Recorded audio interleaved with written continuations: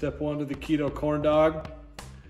Get an extra long skewer and then go right into your brat or your dog.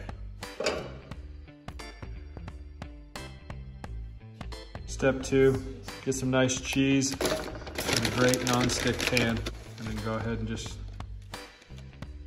drop your cheese straight down in there. Get a little sizzle. I like to warm up my dog on the side of my pan. All right, what good would a corn dog be without a little keto fry sauce? Mayo?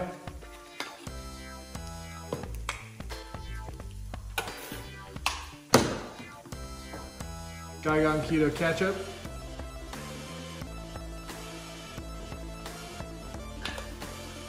Splash of Worcestershire.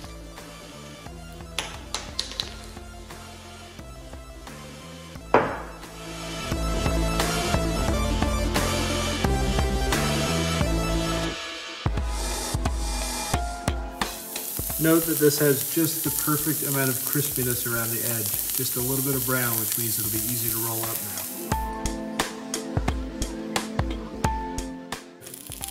And then you just slowly twist that and roll that baby right on. And world, we give you the keto corn dog. So there you go, easy as that.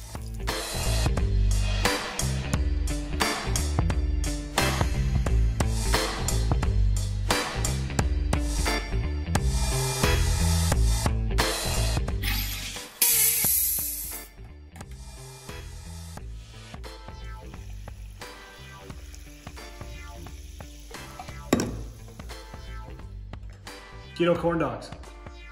Ready to go. Got my keto fry sauce. Dip it in. You know it's a good one, and you know you've done it right if you got some crunch.